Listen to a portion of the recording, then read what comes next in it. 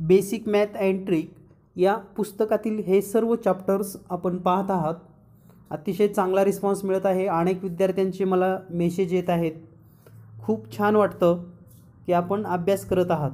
आणखी एक मी आवर्जून सांगेन हा तेविसावा व्हिडिओ आहे. यापूर्वीचे पहिल्या व्हिडिओपासून तुम्ही व्हिडिओ पहा नोट्स काढा.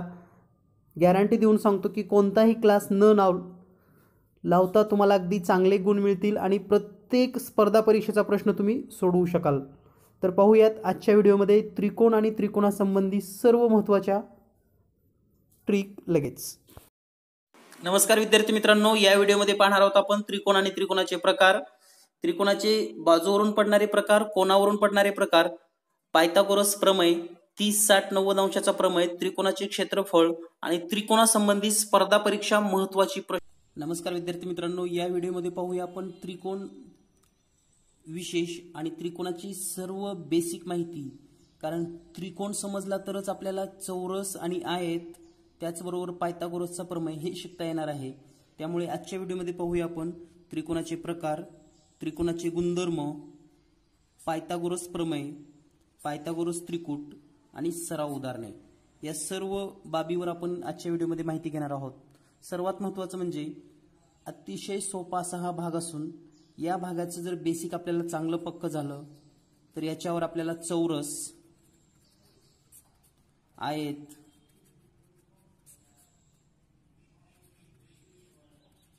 समभुज त्रिकोण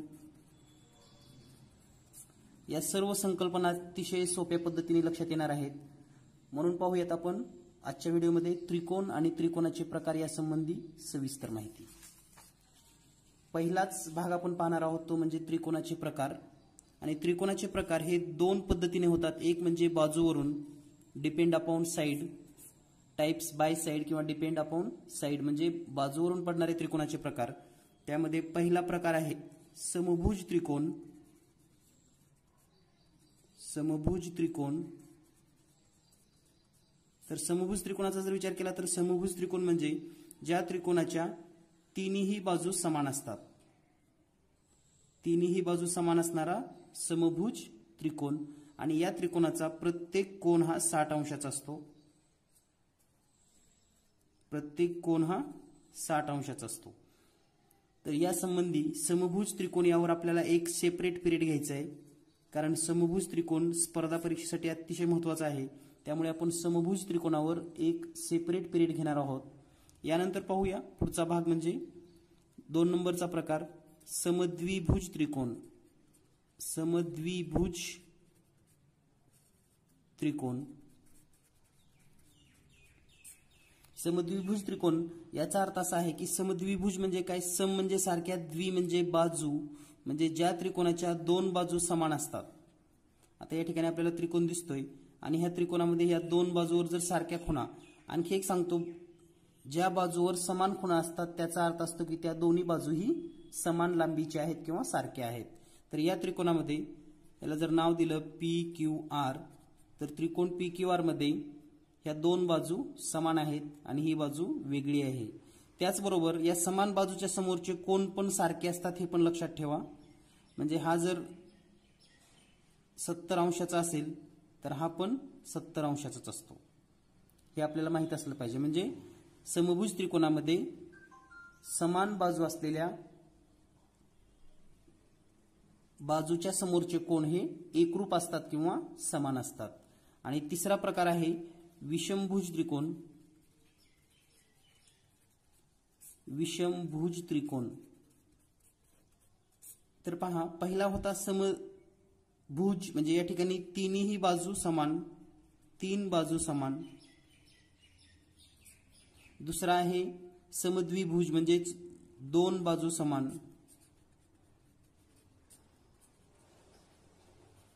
आता आपण जो तिसरा प्रकार पाहणार आहोत तो आहे विषमभुज त्रिकोण. या ठिकाणी कोणत्याही बाजू समान नसतात. म्हणजे कोणत्याच बाजूची लांबी ही सारखी नसते. तर यासारखा जो त्रिकोण असतो याला म्हणतात विषमभुज त्रिकोण. या ठिकाणी हे तिन्ही बाजू वेगवेगळ्याच असतात. कारण तिन्ही बाजूवर वेगवेगळ्या खुणा केल्यात म्हणजे यांची लांबी पण वेगवेगळी आहे. तर या पद्धतीनं समभुज त्रिकोण समद्विभुज त्रिकोण आणि विषमभुज त्रिकोण हे डिपेंड्स अपॉन साईड म्हणजेच बाजूवरून पडणारे त्रिकोणाचे तीन प्रकार आहेत. यानंतर पाहूया आपण कोणावरून पडणारे त्रिकोणाचे तीन प्रकार. कोणावरून पडणारे त्रिकोणाचे तीन प्रकार. त्यापूर्वी समद्विभुज त्रिकोणावरचं एक छोटंसं गणित घेऊया. समद्विभुज त्रिकोणाच्या एकरूप बाजू पायाच्या बाजूच्या दुपटीपेक्षा दहानी कमी असून त्यांची परिमिती पंचावन्न आहे. तर त्रिकोणाच्या बाजू शोधा. तर या गणितामध्ये आपल्याला समद्विभुज त्रिकोण सांगितलेला आहे. समद्विभुज त्रिकोणाची परिमिती दिलेली आहे. आणि आपल्याला आणखी एक महत्वाची गोष्ट सांगितलेली आहे ती म्हणजे एकरूप बाजू ज्या दिलेल्या आहेत आपल्याला एकरूप बाजू या पायाच्या बाजूच्या दुपटीपेक्षा दहाने कमी आहेत. म्हणजे जर आपण अशी आकृती काढून घेतली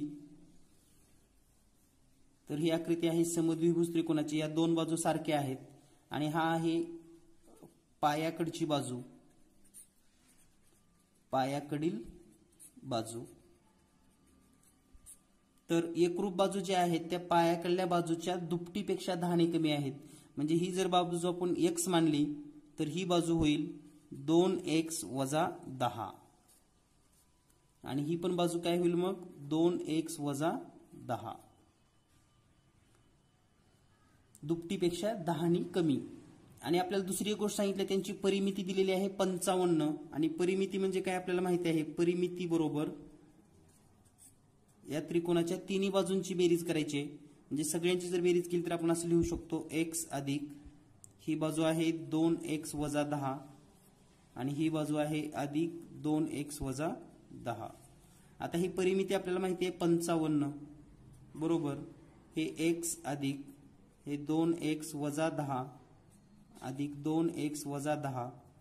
तर पहा हे एक्स दोन एक्स आणि हे दोन एक्स यांची बेरीज होईल पाच एक्स म्हणजे हे पंचावन्न बरोबर पाच एक्स आणि वजा दहा आणि वजा दहा म्हणजेच वजा वीस. आता हे वजा वीस या बाजूला घेतल्यानंतर हे प्लस होईल म्हणजेच पंचावन्न प्लस वीस बरोबर पाच एक्स म्हणजेच पंच्याहत्तर बरोबर पाच एक्स आणि म्हणून एक्स बरोबर आता हे पाच इथं भागाकारामध्ये जाईल. पंच्याहत्तर भागिले पाच होईल. पाच एक पाच पाच एक पाच दोन उरले पाचा पाचा पंचवीस. आणि म्हणून एक्स बरोबर पंधरा. तर ही जी पायाकल्ली बाजू असेल ती असेल पंधरा. आता ही किती आहे? दोन एक्स वजा दहा. दोन एक्स वजा दहा म्हणजेच पंधराची दुप्पट करा. तीस येते आणि वजा दहा म्हणजे ही बाजू असेल वीस. आणि ही पण बाजू समान आहे ही वीस. म्हणून त्या त्रिकोणाच्या तीन बाजू असतील पंधरा वीस वीस किंवा वीस वीस पंधरा. तर या पद्धतीने यासारखे प्रश्न आपल्याला विचारले जाऊ शकतात. त्यामुळे आपण आवर्जून या ठिकाणी हा प्रश्न घेतलेला आहे. यानंतर पाहूया. त्रिकोणाचे कोणावरून पडणारे तीन प्रकार. त्रिकोणाचे प्रकार कोणावरून म्हणजे बाय टाइप्स बाय अँगल किंवा टाइप्स डिपेंड अपॉन अँगल तर या ठिकाणी कोणावरून पडणारे तीन प्रकार कोणते आहेत? तर पहिला प्रकार आहे तो म्हणजे लघुकोण लघुकोन त्रिकोण? लघुकोण त्रिकोण याचा अर्थ असा आहे की ज्या त्रिकोणाचे तिन्ही कोण तिन्ही कोण लघुकोण असावेत. तिन्ही कोण लघुकोण जर आपण आकृती काढली समजा या पद्धतीची तर आपल्याला लक्षात येईल. समजा हा आहे सत्तर अंशाचा हा आहे पन्नास अंशाचा आणि हा आहे साठ अंशाचा. तर या ठिकाणी तिन्ही कोण कसे आहेत? नव्वद अंशापेक्षा लहान आहेत. त्यालाच आपण लघुकोण असं सुद्धा म्हणतो. म्हणजे ज्या त्रिकोणाचे तिन्ही कोण नव्वदपेक्षा लहान असतात किंवा लघुकोण असतात त्या त्रिकोणाला लघुकोण त्रिकोण असे म्हणतात. यानंतर दुसरा प्रकार आहे काटकोण त्रिकोण. काटकोण त्रिकोण. तर नेमकं काटकोण त्रिकोण कोणाला म्हणायचं? ज्याचा एक कोण नव्वद अंशाचा असतो त्याला आपण काटकोण असं म्हणतो. आकृती जर काढली आपण तर या ठिकाणी हा नव्वद अंशाचा कोण आहे. तर हा त्रिकोण काटकोण त्रिकोण आहे. बऱ्याच वेळेस आकृतीमध्ये आपल्याला काटकोण देतातच असं नाही. फक्त या प्रकारची खून जरी केली या प्रकारची खून लक्षात ठेवा.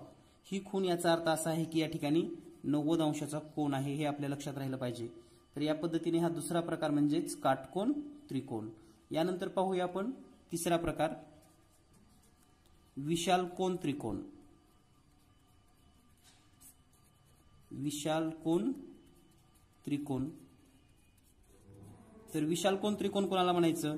ज्या त्रिकोणाचा एक कोण एक कोण? विशाल कोण असावा? आणि विशाल कोण म्हणजे काय? नव्वद अंशापेक्षा मोठा. तर नव्वद अंशापेक्षा मोठा म्हणजेच काय असणार आहे? या ठिकाणी आकृतीमध्ये जर आपण पाहिलं असं तर या ठिकाणी हा आहे एकशे वीस अंशाचा कोण आणि हा एकशे वीस अंशाचा कोण म्हणजेच विशाल कोण आहे. म्हणून हा त्रिकोण जो असणार आहे समजा ए बी सी तर त्रिकोण ए बी सी हा विशाल कोण आहे? तर या पद्धतीने आपण त्रिकोणाचे तीन प्रकार पाहिलेले आहेत. लघुकोण त्रिकोण? काटकोन त्रिकोण?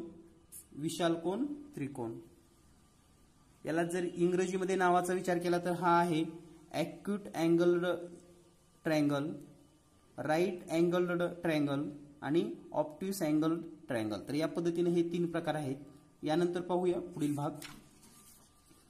तर आपण आत्ताच त्रिकोणाचे तीन बाजूवरून पडणारे प्रकार पाहिलेले आहेत कोणावरून पडणारे प्रकार पाहिलेले आहेत.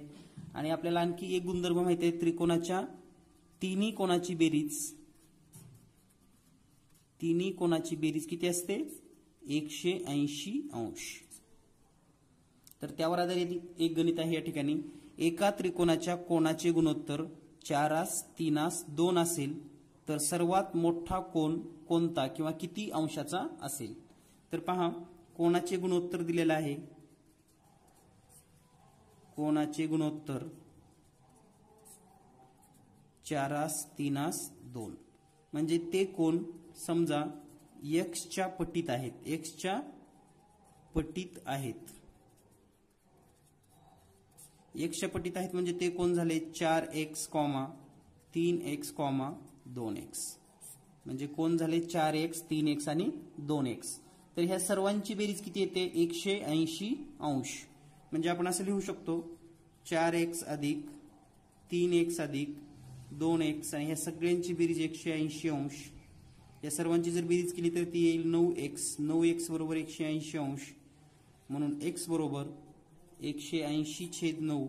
नऊ एक नऊ नऊ दोन्ही अठरा आणि हे शून्य. म्हणजेच वीस अंश. आता सर्वात मोठा जो कोण असणार आहे? सर्वात मोठा कोण? तर तो सर्वात मोठा कोण असणार आहे? चार एक अंशाचा हा. आणि चार एक अंश म्हणजे चार गुणिले हे वीस ऐंशी अंश. म्हणून या ठिकाणी या त्रिकोणाचा सर्वात मोठा कोण असेल? ऐंशी अंश. तर या पद्धतीने आपण इतरही दोन कोणाची मापं काढू शकतो. फक्त आपल्याला लक्षात राहावं की या पद्धतीने हा प्रश्न सोडवायचा असतो. या ठिकाणी आवर्जून आपण हा प्रश्न घेतलेला आहे. यानंतर पाहूया पुढचा भाग. काटकोणाच्या दोन कोण म्हणजेच लघु कोणाचे गुणोत्तर दोनास तीन असेल तर सर्वात लहान कोणाचे माप किती असेल? म्हणजे या ठिकाणी प्रश्न असा आहे एक असा काटकोण असेल. तर हा नव्वद अंश आहे. हा नव्वद सोडून हे जे राहिलेले दोन कोण आहेत हा आणि हा यांचं गुणोत्तर आहे दोनास तीन. तर पाहता आपण काटकोणाचा जर विचार केला तर हा कोण नव्वदचा आहे? म्हणजे ह्या दोन्हीची बेरीज किती असायला पाहिजे ह्या दोन कोणाची? तर ती असेल नव्वद अंश. आणि कोणाचं गुणोत्तर दिलेलं आहे दोनास तीन? याचा अर्थ ते कोण दोन एक्स व तीन एक्स आहेत असं समजूयात. आणि यांची बेरीज येते नव्वद अंश. म्हणजेच दोन एक्स अधिक तीन एक्स बरोबर नव्वद अंश म्हणजेच पाच एक्स बरोबर नव्वद आणि एक्स बरोबर नव्वद छेद पाच पाच एक पाच पाच एक पाच चार उरले पंच्याहत्तेचाळीस आणि म्हणून एक्सची किंमत आलेली आहे अठरा. आता सर्वात लहान कोण म्हणजे कोणता असणार आहे? लहान कोण तर तो असेल दोन एक्स म्हणजेच दोन गुणिले अठरा बरोबर छत्तीस. तीस अंश. म्हणून या ठिकाणी कोणाचं माप जे असणार आहे ते असेल छत्तीस अंश. यानंतर पाहूया पुढील भाग. पुढचा भाग आपण पाहणार आहोत त्रिकोणाचे काही महत्वाची गुणधर्म. त्रिकोणाचे महत्वाची गुणधर्म. तर या ठिकाणी पहिला गुणधर्म आहे कोणत्याही दोन बाजूंची बेरीज. कुणाच्या? त्रिकोणाच्या. कोणत्याही दोन बाजूंची बेरीज ही नेहमी तिसऱ्या बाजूपेक्षा अधिक असते किंवा जास्त असते. तर यासाठी आपण एक उदाहरण पाहूयात. समजा हा एक आपण त्रिकोण काढला. याची बाजू समजा ही आहे पाच सेमी ही आहे सहा सेमी आणि ही आहे सात सेमी. तर या ठिकाणी पहा कोणत्याही दोन्हीची बेरीज करा तुम्ही. समजा पाच आणि सहा केली. पाच अधिक सहा अकरा ही सातपेक्षा जास्त येते. म्हणजे तिसऱ्या बाजूपेक्षा जास्त असते.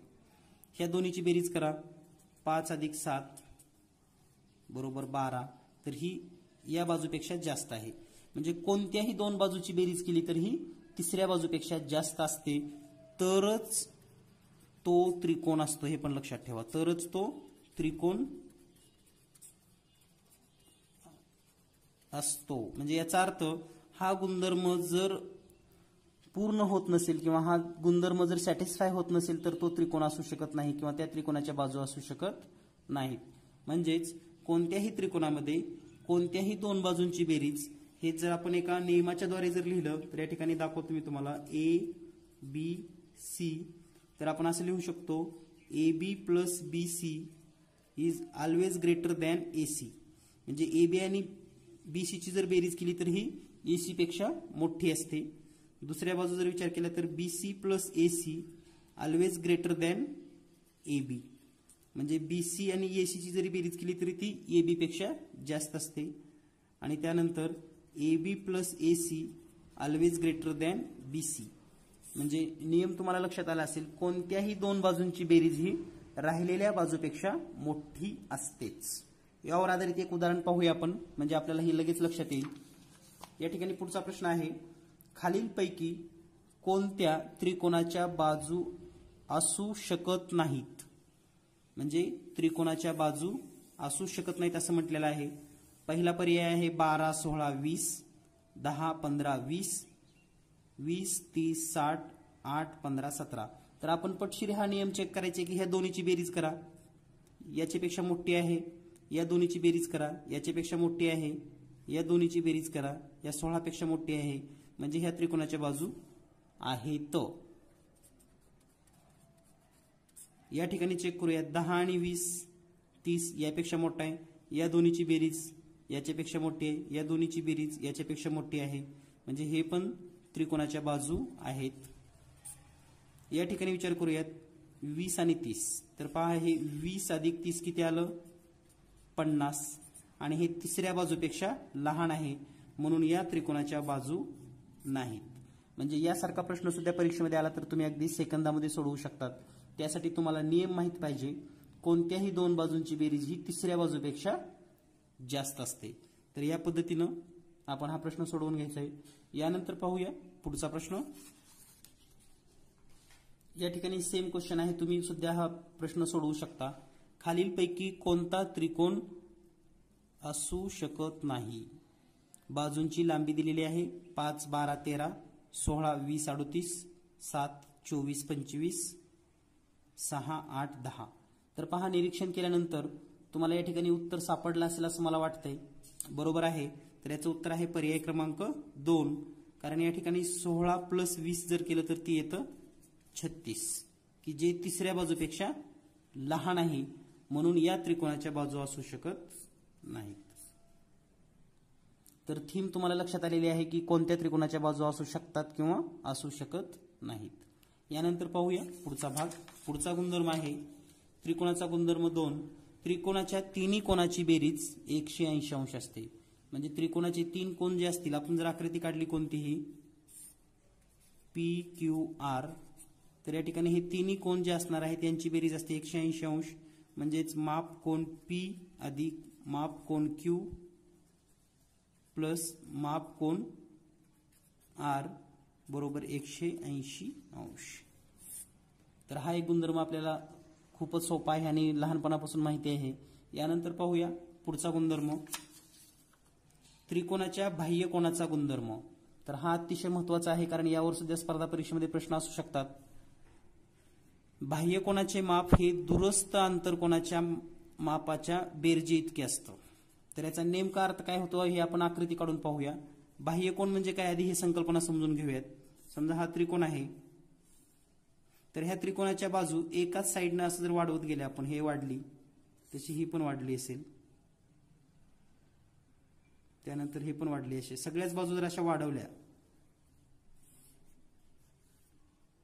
तर या त्रिकोणाला बाह्य कोण कोणाला म्हणायचं ते सांगतो. तर बाहेरच्या बाजूचे जे कोण आहेत असे हे सगळे बाह्य कोण आहेत. तर हे बाह्य कोण आहेत? आणि या बाह्य कोणाचं माप? आता एक छोटी आकृती काढून आपल्या लक्षात येईल. आता हा बाह्य कोण आहे? या बाह्य कोणाचं माप समजा एकशे तीस अंश आहे तर याला चिटकून असलेला हा जवळचा कोण झाला? लक्षात घ्या. या बाह्य कोणाला हा चिटकून असलेला आंतरकोण म्हणू शकता आपण? जवळचा आंतरकोण जवळचा आंतरकोण आणि आता हे राहिलेले दोन कुठले आहेत? बाहेरचे अंतरकोण आहेत? म्हणजे दूरस्थ अंतरकोण आहेत? दूरचे. हे दूरस्थ अंतरकोणाच्या बेरजे इतका. आता याचं जर माप समजा साठ अंश असेल आणि इथलं जर सत्तर अंश असेल तर या ठिकाणी नियम काय सांगतो पहा? या दोन्हीची बेरीज या बाह्य कोणा इतकी असते. म्हणजेच बाह्य कोणाचं माप हे दूरस्थ आंतरकोणाच्या बेरजी इतकं असतं. ह्या दोन्हीच्या बेरजी इतकं असतं. साठ आणि सत्तर एकशे तीस आणि हे बाहेरचं पण एकशे तीस.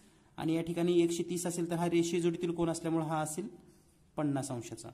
तर याची पण बेरीज एकशे ऐंशी अंश येते. तर या पद्धतीने आपल्याला बाह्य कोणाचं माप हे दूरस्थ आंतरकोणाच्या बेरजी इतकं असतं हा गुणधर्म लक्षात आला असेल. यानंतर पाहूया यावर आधारित एक छोटासा प्रश्न. तर या ठिकाणी आपल्याला आकृती दिलेली आहे. यक्स ची किंमत शोधा. या ठिकाणी आता त्रिकोण दिलेला आहे हा. आणि हा त्रिकोणाचा बाह्य कोण आहे यक्स तर आपल्याला हा बाह्य कोणाचं माप किती असतं? बाह्य कोणाचे माप. तर हे दूरस्थ अंतरकोण म्हणजे हे दूरस्थ हे दूरचे अंतरकोण हा जवळचा अंतरकोण आहे आणि हे दूरस्थ अंतरकोण आहेत. तर यांच्या बेरजे इतका असतो म्हणजे हा बाह्यकोण बरोबर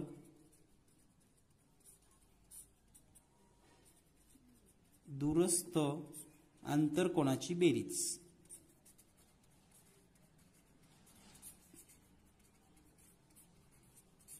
तर दूरस्थांतर कोणाची बेरीज किती येईल? मग पन्नास अधिक सत्तर बरोबर एकशे वीस अंश. म्हणजे या एकची किंमत असणार आहे एकशे वीस अंश. यानंतर पाहूया आणखी एक प्रश्न यावर आधारित. आकृतीत कोण ए चे माप शोधा. आकृतीमध्ये कोण ए चे माप शोधायचे कोण ए म्हणजे या ठिकाणचा हा कोण आहे. तर या ठिकाणी हा कोण दिलाय चार एक्स हा दिलेला आहे एक्स अधिक पाच. तर आपल्याला शोधायचं आहे कोण एचं माप म्हणजे आपल्याला यक्षची किंमत काढावी लागणार आहे. आणि हा जो बाह्य कोण दिलेला आहे हा आहे एकशे तीस अंशाचा. तर आपल्याला माहिती आहे बाह्य कोणाचं माप या दोन्हीच्या बेरजे इतकं असतं. म्हणजे आपण असं लिहू शकतो एकशे तीस बरोबर या दोन्हीची बेरीज करा. चार एक्स अधिक एक्स अधिक पाच. म्हणजेच एकशे तीस बरोबर पाच एक्स अधिक पाच. आता हे पाच प्लस आहे इकडे आल्यानंतर मायनस होईल. म्हणजे एकशे तीस वजा पाच बरोबर पाच एक्स. आणि म्हणून पाच एक्स बरोबर एकशे पंचवीस. आणि म्हणून आपण असं म्हणू शकतो एक्स बरोबर एकशे पंचवीस छेद पाच. पाच एक पाच. पाच दोन्ही दहा दोन उरले पाचा पाचा पंचवीस. आणि एक्स बरोबर पंचवीस. या ठिकाणी आता कोण ए बरोबर चार एक्स. म्हणजेच चार गुणिले पंचवीस आणि हा गुणाकार केला तर तो येतो शंभर अंश. म्हणून कोण एचं माप आहे शंभर अंश. तर या पद्धतीने आपल्याला या गुणधर्माचा उपयोग होणार आहे आणि आपण उदाहरणं सोडवू शकतो. यानंतर पाहूया पुढील भाग. त्रिकोणाची मध्यगा हा एक अतिशय महत्त्वाचा भाग आहे. त्रिकोणाची मध्यगा म्हणजे काय? तर समजा आपण एखादा त्रिकोण काढलेला आहे. तर या त्रिकोण ही जी बाजू आहे आता हे याला जर नाव दिले आपण ए बी सी तर हे बी सीचा हा मध्यबिंदू घेऊयात आपण. त्यानंतर ए बीचा पण मध्यबिंदू घेऊयात आणि ए सीचा पण मध्यबिंदू घेऊयात. आणि शिरोबिंदूतून ही रेषा अशी जोडली आणि याला जर नाव दिलं तर या ठिकाणी मध्यगा ए डी तयार झालेली आहे. ही ए डी ही मध्यगा असते. त्यानंतर बी पासून जोडूयात आता. आणि याला ई नाव देऊयात. तर दुसरी मध्यगा झाली. मध्यगा बीई त्यानंतर सी पासून जोडूयात. आणि याला जर एफ नाव दिलं तर ही झाली मध्यगा सी एफ. तर या ठिकाणी ही जी मध्यगा एका ठिकाणी हे होतात त्यालाच एक संपात बिंदू असं म्हणतो आपण. आणि हा एक संपात बिंदूला जर समजा आपण जी नाव दिलं तर याचं एक वैशिष्ट्य असतं त्रिकोणाच्या मध्यगाचं या ठिकाणी हा जो बिंदू आहे जी या मध्यगाला दोनास एक प्रमाणात विभागतो. म्हणजे आपण असं लिहू शकतो ए जीचं जी डी सी जी गुणोत्तर आहे ते किती असतं? दोनास एक. म्हणजे जी डीच्या दुप्पट ए जी असतं. कुठंही समजा आता हे एफ जी आहे याच्या दुप्पट हे सी जी असणार. जी ई जेवढा आहे त्याच्या दुप्पट बीई असणार. म्हणजे या ठिकाणी जर आपण असा प्रश्न लिहिला ए जी बरोबर वीस ए जी बरोबर वीस तर जी डी किती असेल मग? त्याच्या निम्म म्हणजेच दहा. आणि हे पूर्ण किती होईल मग? A D. तर हे या दोन्हीची बेरीज करावी लागेल. ए जी वीस आणि हे दहा. म्हणजे हे वीस अधिक दहा तर ए डी होईल तीस. तर या पद्धतीचे प्रश्न परीक्षेमध्ये असतात. आणि जर आपल्याला हा गुणधर्म माहीत असेल की मध्यगा जी या बिंदूपासून दोनास एक या प्रमाणामध्ये विभागते तरच तुम्ही हे प्रश्न सोडवू शकतात. तर यावर एक सोपा प्रश्न घेऊयात आपण. तर या ठिकाणी आपल्याला आकृती दिलेली आहे. जर ए जी बरोबर बारा सेमी म्हणजे हे ए जी बरोबर किती दिलेलं आहे? बारा सेमी.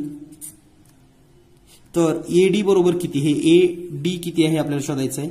तर आता हे जर बारा सेमी असेल तर तुम्हाला माहिती आहे की हे किती असेल मग? तर हे असेल सहा सेमी. कारण हे दोन असेल तर हे एक असतं हे आपल्याला माहिती आहे.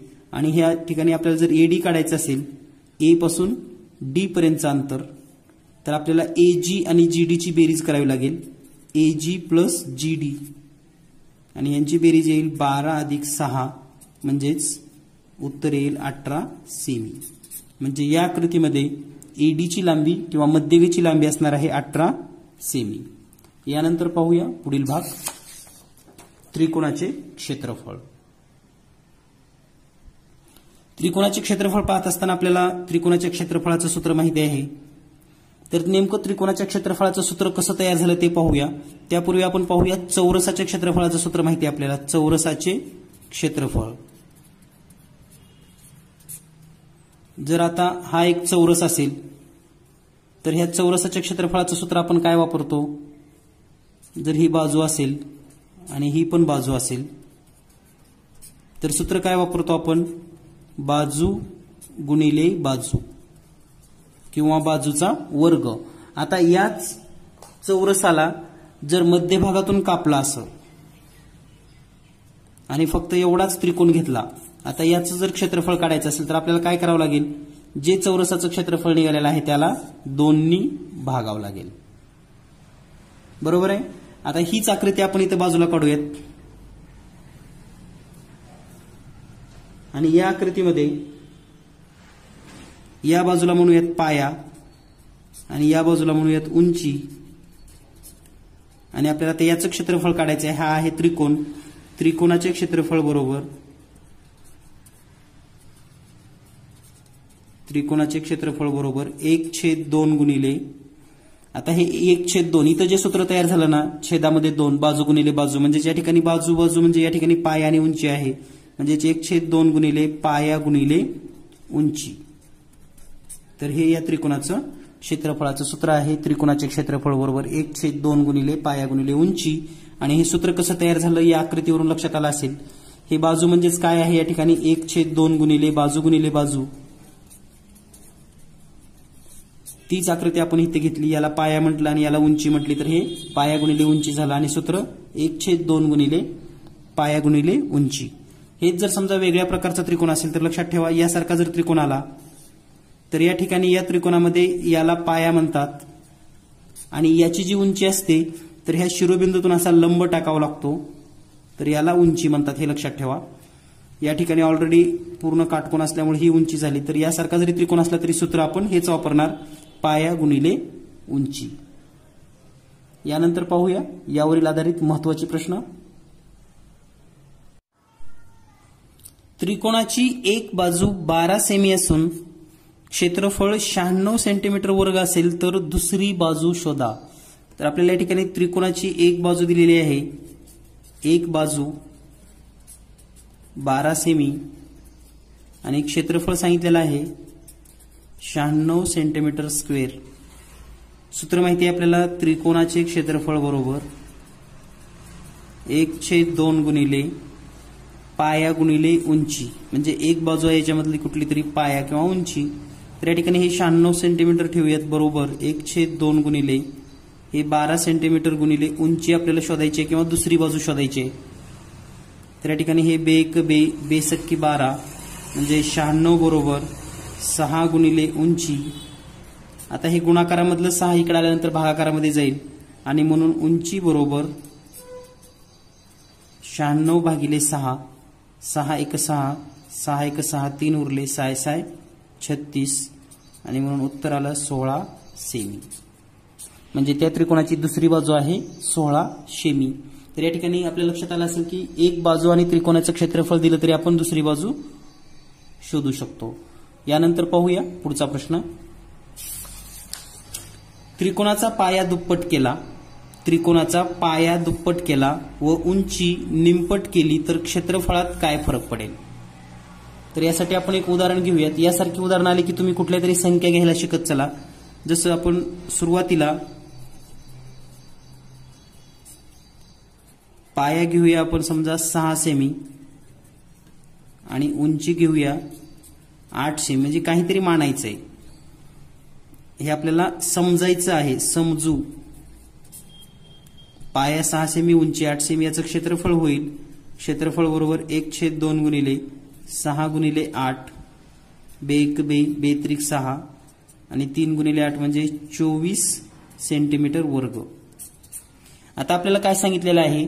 त्रिकोणाचा पाया दुप्पट करा. म्हणजे आपल्याला सेकंड कंडिशन आहे की पाया दुप्पट करा. पाया दुप्पट म्हणजे सहाची दुप्पट बारा सेमी.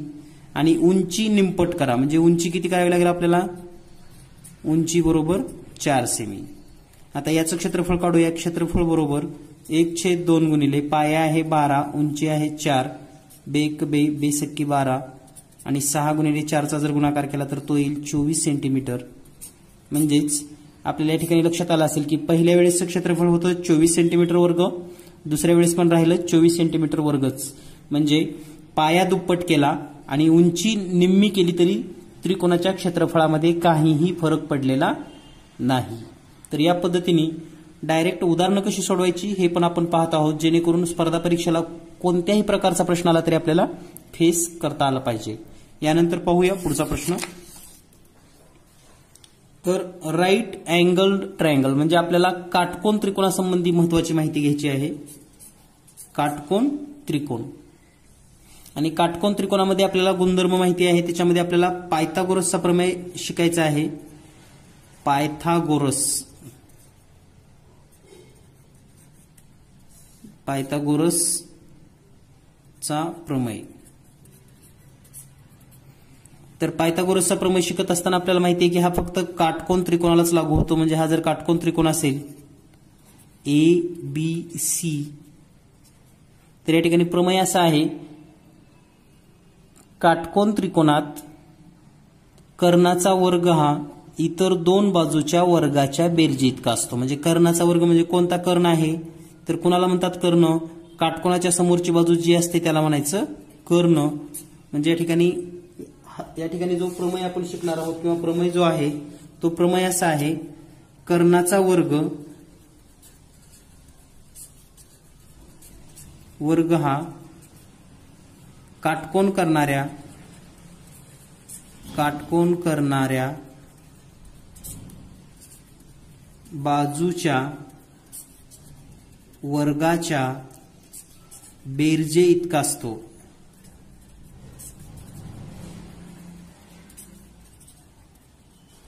म्हणजे या आकृतीमध्ये जर विचार केला तर कर्णाचा वर्ग म्हणजे कोणाचा?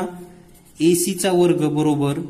हा कोणा इतका असतो? काटकोण करणाऱ्या बाजूच्या वर्गाच्या बेरजे इतका. म्हणजे ह्या काटकोण करणाऱ्या दोन बाजू आहेत ए बीचा वर्ग प्लस हे बी सी बी सीचा वर्ग. तर हा आहे पायथागोरसचा प्रमेय. कर्णाचा वर्ग म्हणजे हा आहे कर्ण वर्ग बरोबर. हे आहे एक बाजू आणि त्याचा वर्ग अधिक दुसरी बाजू आणि त्याचा वर्ग. तर हे आपल्याला सूत्र माहीत असणं गरजेचं आहे कारण या सत्रावर आपल्याला बरेच प्रश्न स्पर्धा परीक्षेमध्ये येतात. विशेषतः दिशा जसं की दोन किलोमीटर चालत गेला डावीकडे वळला पुन्हा पाच किलोमीटर चालत गेला तर मूळ ठिकाणापासून किती अंतरावर असेल? त्यासाठी आपल्याला हा पायथागोरस प्रमेय अतिशय महत्त्वाचा आहे. यावर आधारित एक उदाहरण पण पाहूया आपण लगेच. तर या ठिकाणी प्रश्न आहे आकृतीत बाजू पी क्यूची लांबी शोधा. तर या ठिकाणी आकृती दिलेली आहे आपल्याला त्रिकोण पी क्यू आर आणि या त्रिकोणामध्ये हा कोण क्यू नव्वद अंशाचा आहे म्हणजे हा आहे काटकोण म्हणून हा समोरचा असणार आहे कर्ण. आणि कर्ण ही त्रिकोणामध्ये सर्वात मोठी बाजू असते हे पण लक्षात ठेवा. तर या ठिकाणी आपल्याला पी क्यूची लांबी काढायची या ठिकाणी प्रश्नचिन्ह दिलेलं आहे. क्यू आरची लांबी आहे आठ सेमी पी आरची लांबी आहे सतरा सेमी. तर आपल्याला जो पायथागोरसचा प्रमेय माहिती आहे त्याच्यानुसार जर माहिती लिहिली आपण पायथा गोरसचा प्रमेय. तर काय सांगतो प्रमेय आपल्याला? कर्णाचा वर्ग म्हणजे कुणाचा वर्ग? पी क्यूचा वर्ग बरोबर दोन बाजूंच्या वर्गांची बेरीज. म्हणजे या ठिकाणी वर्गांची बेरीज म्हणजे हा कर्ण पी आर आहे इथं. पी आरचा वर्ग बरोबर पी क्यूचा वर्ग अधिक क्यू आरचा वर्ग. आता यांच्या किमती जर आपण या ठिकाणी ठेवल्या पी आर आहे सतरा म्हणजे सतराचा वर्ग बरोबर पी क्यूचा वर्ग आपल्याला शोधायचा आहे.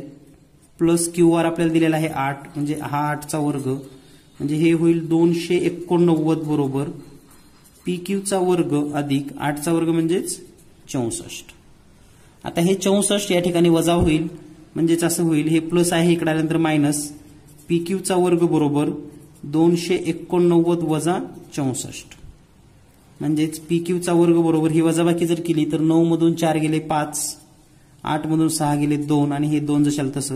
म्हणजे पी क्यूचा वर्ग किती आलेला आहे? दोनशे पंचवीस. आता दोन्ही बाजूचं वर्गमूळ काढा. दोन्ही बाजूचे वर्गमूळ. दोन बाजू म्हणजे कोणत्याही पी क्यू एक बाजू आणि दोनशे पंचवीस. तर याचं वर्गमूळ पी क्यूचं वर्गमूळ. पी क्यूचा वर्ग आहे म्हणून याचं वर्गमूळ झालं पी क्यू बरोबर. आणि दोनशे पंचवीसचं वर्गमूळ पंधरा. म्हणून या आकृतीमध्ये पी क्यूची लांबी असणार आहे पंधरा सेमी तर या पद्धतीने आपल्याला काटकोण त्रिकोणामध्ये कोणत्याही दोन बाजूंची लांबी दिली. मग त्या दोन बाजू असो किंवा एक बाजू एक कर्ण दिला असो आपण तिसरी बाजू या प्रमेयाचा उपयोग करून शोधू शकतो. यानंतर पाहूया आपण आणखी एक महत्त्वाचा प्रश्न.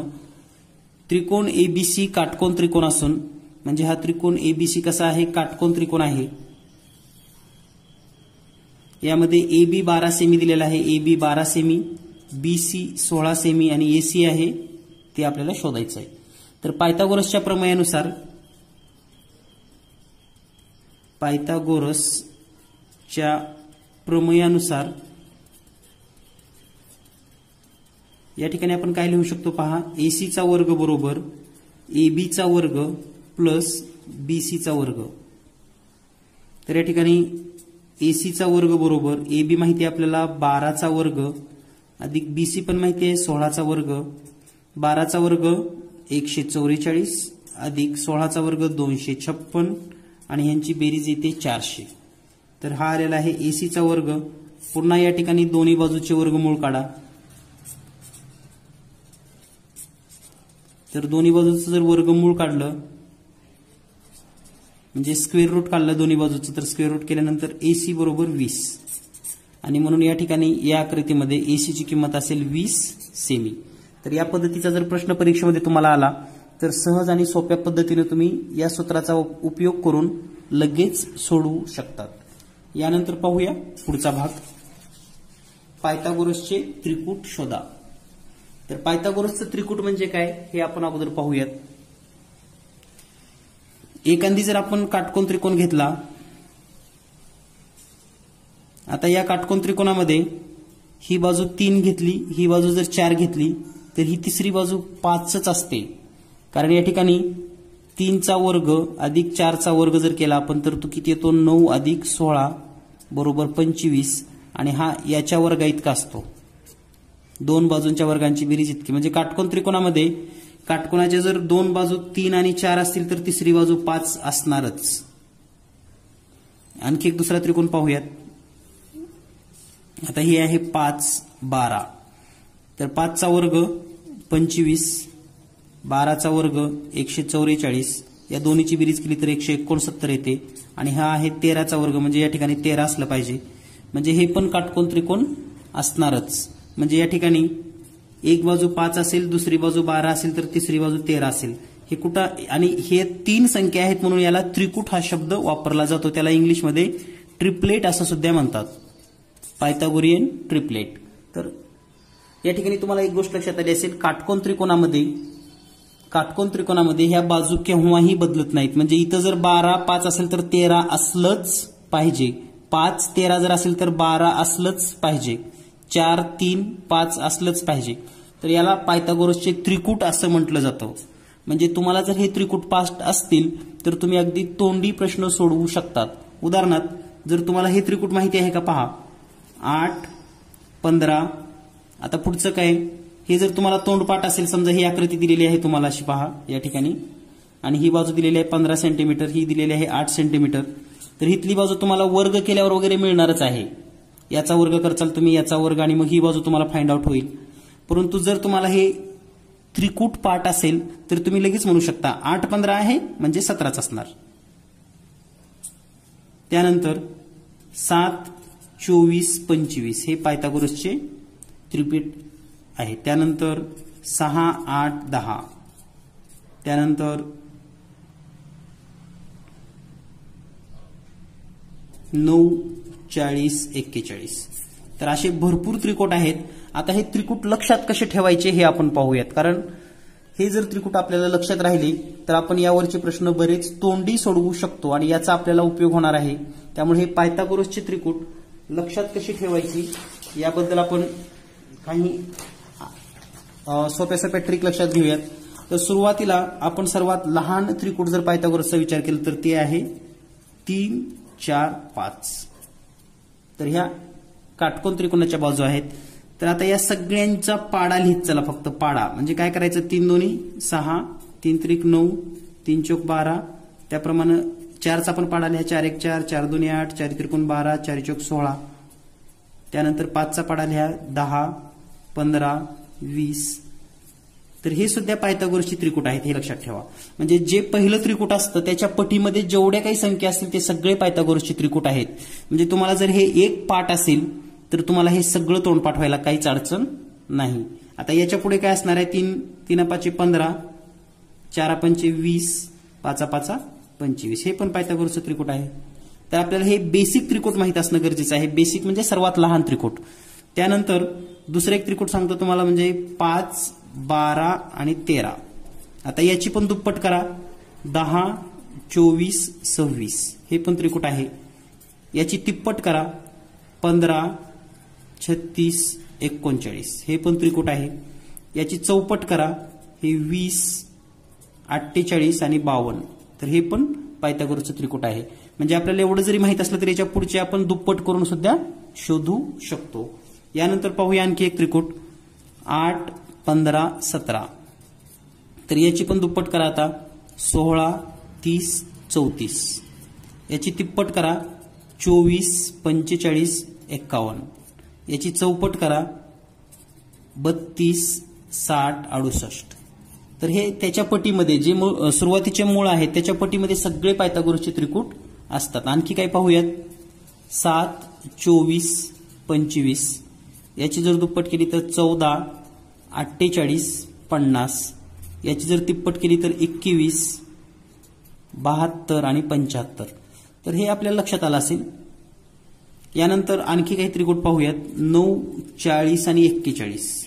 याची पण दुप्पट जर केली तर अठरा ऐंशी आणि ब्याऐंशी. हे पण त्रिकूट आहेत. आणखी एक म्हणजे अकरा साठ एकसष्ट. याची दुप्पट करा बावीस एकशे वीस आणि एकशे बावीस. तर हे सर्व पायथागोरसचे त्रिकूट आहेत.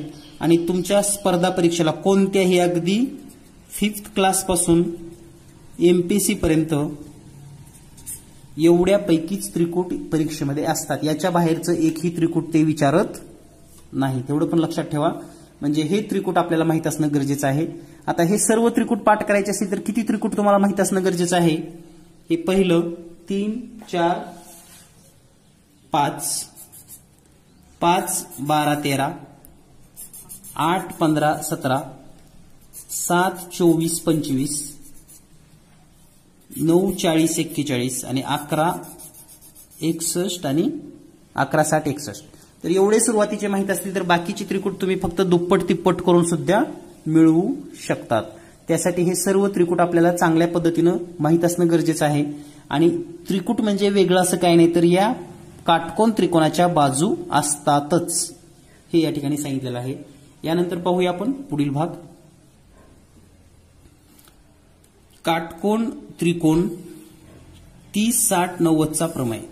सर्वांना दहावीची आठवण झाली असेल बघा आवर्जून.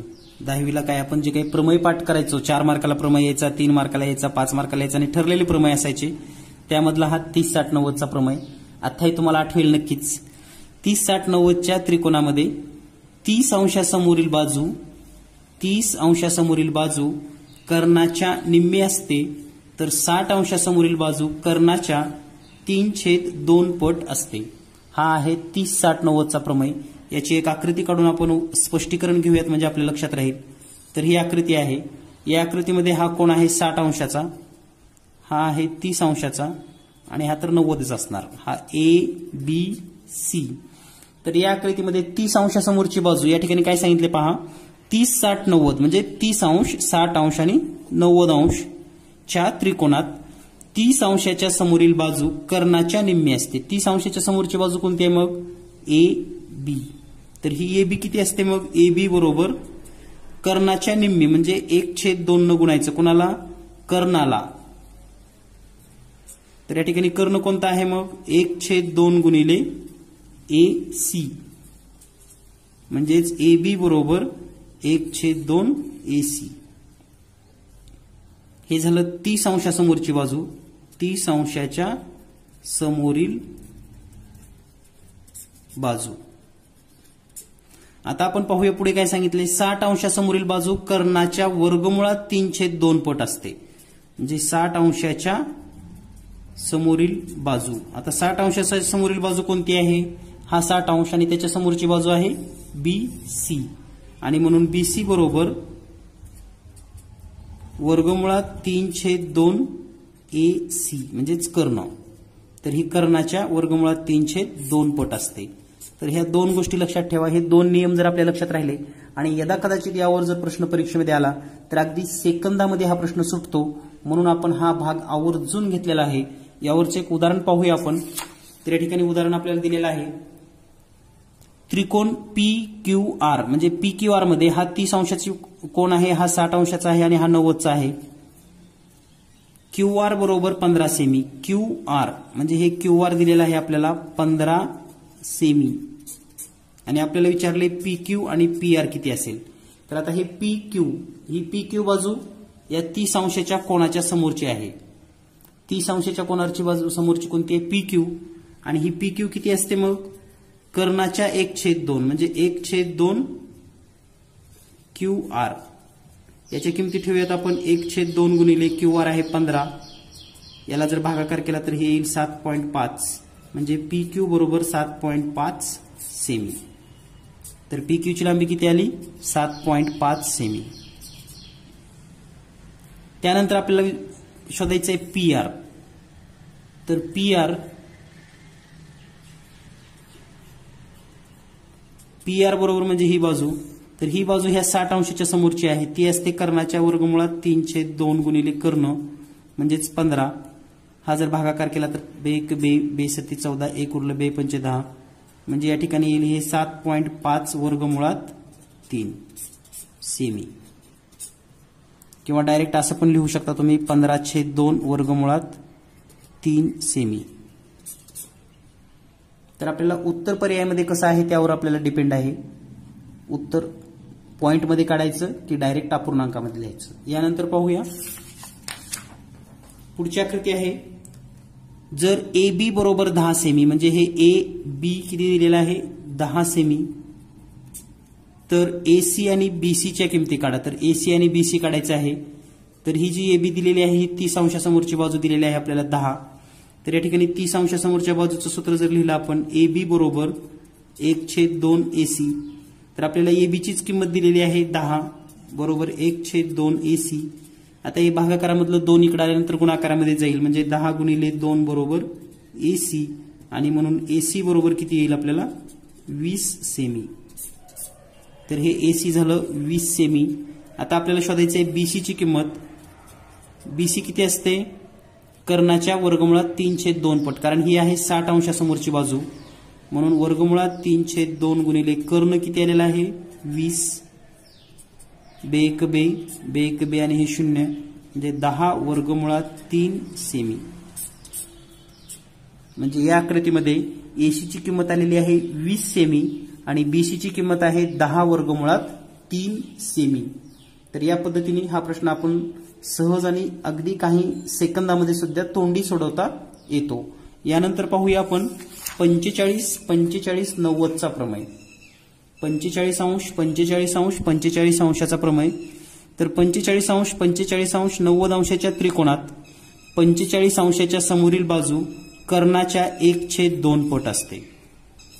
कर्णाच्या एक छेद दोन पट. आपण अगोदर आकृती समजून घेऊयात.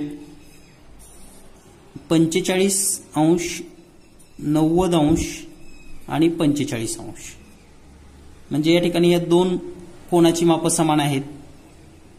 हा नव्वद अंशाचा आहे. म्हणजे ह्या दोन्हीही बाजू सारख्याच असतात. कारण हा आहे समद्विभुज त्रिकोण. आपण त्रिकोणाचे प्रकार पाहिलेले आहेत. तर समद्विभुज त्रिकोण म्हणजे काय? ज्या त्रिकोणाच्या दोन बाजू समान असतात त्याला समद्विभुज त्रिकोण असं म्हणतात. आणि या ठिकाणी पंचेचाळीस पंचेचाळीस अंशाच्या समोरच्या बाजू या ठिकाणी जर आकृतीत असा विचार केला ए बी सी नाव दिलं तर पंचेचाळीस अंशासमोरच्या बाजू असं सांगितलेलं आहे या ठिकाणी. पंचेचाळीस अंशाच्या समोरील बाजू. तर पंचेचाळीस अंशाच्या समोरच्या बाजू दोन्ही पण आहेत या ठिकाणी. म्हणजे ए बी पण आहे बरोबर बी सी पण आहे. या दोन्ही बाजू तर सारख्याच आहेत. आणि या बाजू कर्णाच्या एक छेद वर्गमुळात दोन पट कर्ण म्हणजेच एसी इतके असतात. म्हणजे या ठिकाणी दोन्ही बाजू समानच असल्यामुळे वेगळी लिहायची गरज नाही. आणि ह्या दोन्ही बाजू कर्णाच्या एक छेद वर्गमुळात दोन पट इतक्या असतात. तर पाहूया यावरील एक महत्वाचं उदाहरण. या ठिकाणी आपल्याला आकृती दिलेली आहे. एसी बरोबर अठरा सेमी असेल तर ए बी आणि बी सीच्या किमती काढा. आता या ठिकाणी हा नव्वद अंशाचा कोण दिलेला आहे. बऱ्याच वेळेस आपल्याला हे पंचेचाळीस लिहून देत नाहीत. लक्षात घ्या. आकृतीमध्ये काय करतात? आता या ठिकाणी नव्वदचा कोण दिला ह्या दोन्ही बाजू सारख्या दिल्यात. याचा अर्थ आपणच समजून घ्यावा लागतो की ह्या सारख्या बाजू म्हणून हा पंचेचाळीस अंशाचा अंशाचा कोण आहे. कारण सारख्या बाजूच्या समोरचे कोण सारखे असतात हा तर नव्वदचा आहे ऑलरेडी गेला. राहिलेली आता दोन्हीची बेरीज किती असायला पाहिजे? नव्वद. म्हणून हे पंचेचाळीस पंचेचाळीस. तर हा त्रिकोण पंचेचाळीस अंशाचा आहे हे सुद्धा आपल्याला सांगितलं जात नाही. ते आपल्याला शोधावं लागतं. आणि पंचेचाळीस अंशाच्या समोरची बाजू ए बी आणि बी सी आहेत. या पंचेचाळीसच्या समोर ही ए बी आहे तर या पंचेचाळीसच्या समोर ही बी सी आहे.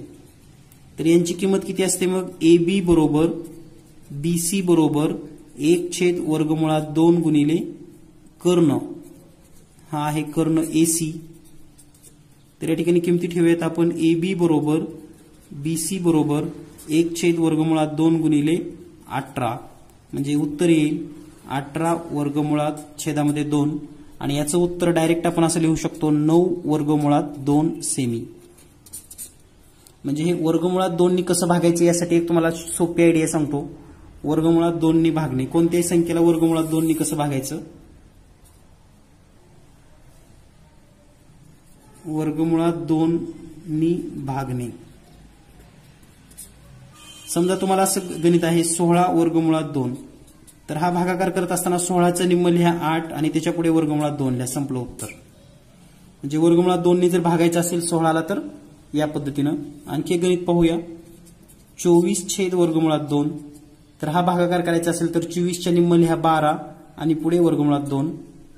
या पद्धतीनं समजा तुम्हाला आलं बेचाळीस छेद वर्गमुळात दोन. तर बेचाळीसच्या निम्म लिहा एकवीस आणि पुढे लिहा वर्गमुळात दोन. कारण वर्गमुळात दोन भाग दोन न भागणे हे आपल्याला माहिती असावं यासाठी आपण या ठिकाणी आवर्जून सांगितलेलं आहे. कारण वर्गमुळात दोनने भागायचं जर गणित आलं आपल्याला तर तेही आपल्याला अगदी सेकंदामध्ये सोडवता आलं पाहिजे. यानंतर पाहूया पुढचा भाग. पुढचा भाग आहे. चौरसाचा कर्ण बारा वर्गमुळात दोन सेमी असेल तर बाजू किती असेल? तर आता या ठिकाणी नेमकं तुम्हाला वाटत असेल की संपूर्ण आपण त्रिकोणाचा भाग पाहिला आणि चौरस कुठं आला? तर पाहूया आपण आकृती चौरसाची काढून घेऊयात. म्हणजे आपल्या लक्षात येईल की चौरस कसा आपल्याला या ठिकाणी दिसतोय. तर हा चौरस आणि हा त्याचा कर्ण हा नव्वद अंशाचा कोण असेल. तर हा झाला पंचेचाळीस अंशाचा कोण हा झाला पंचेचाळीस अंशाचा कोण आणि हा कर्ण आहे बारा वर्गमुळात दोन. तर आपल्याला शोधायची बाजू. आता ही बाजू म्हणजे काय आहे या आकृतीमध्ये? तर पंचेचाळीस अंशासमोरच्या या दोन बाजू आहेत. म्हणजे सांगितलंय चौरस पण आपल्याला वापर कुठं करता येतो? पंचेचाळीस पंचेचाळीस नव्वदचा प्रमेय. आणि या ठिकाणी आपण पंचेचाळीस अंशासमोरची जर बाजू याला नाव दिलं आपण ए बी सी डी तर आपण असं लिहू शकतो ए बी बरोबर बी सी बरोबर. या चौरसाच्या बाजू आहेत लक्षात घ्या. ए बी आणि बी सी. तर हे किती असणार आहेत? एक छेद वर्गमुळात दोन गुणिले कर्ण म्हणजेच ए सी. यांच्या किमती ठेवूयात आपण. ए बी बरोबर बी सी बरोबर एक छेद वर्गमुळात दोन गुणिले कर्ण दिलेला आहे बारा वर्गमुळात दोन. तर हे वर्गमुळात दोन एक वर्गमुळात दोन म्हणजे हे वर्गमुळात दोन कटलेलं आहे या ठिकाणी. आणि याचं उत्तर येईल ए बी बरोबर बी सी बरोबर वर्ग या ठिकाणी बारा राहिले फक्त म्हणजे बारा सेमी तर ही आहे बाजू. बाजू बरोबर बारा सेमी तर या पद्धतीने आपण आजच्या व्हिडिओमध्ये संपूर्ण त्रिकोणाची माहिती त्रिकोणाचे प्रकार त्रिकोणाचे क्षेत्रफळ त्रिकोणाचे गुणधर्म पायथागोरस प्रमेय पायथागोरसची त्रिकुटे त्याचबरोबर तीस साठ नव्वदचा प्रमेय पंचेचाळीस पंचेचाळीस नव्वदचा प्रमेय या सर्वांची माहिती घेतलेली आहे. तर यावरील कोणताही प्रश्न तुम्हाला अतिशय सोपा जाणार आहे. प्रॅक्टिस करा सराव करा. सगळ्यात महत्वाचं म्हणजे तुम्हाला मी जो एक प्रश्नसंच दिलेला आहे प्रश्नसंच त्यामध्ये त्रिकोण चौरस या संबंधीचे सर्व प्रश्न सोडवून घ्या. आणि आपला कोणताही घटक झाला की त्याच्यासारखे प्रश्न त्या पुस्तकामध्ये आहेत ते सोडवण्याचा प्रयत्न करा. तुम्हाला नक्कीच सर्व प्रश्न सुटतील. भेटूया पुढच्या व्हिडिओमध्ये. धन्यवाद. Thank you thank you very much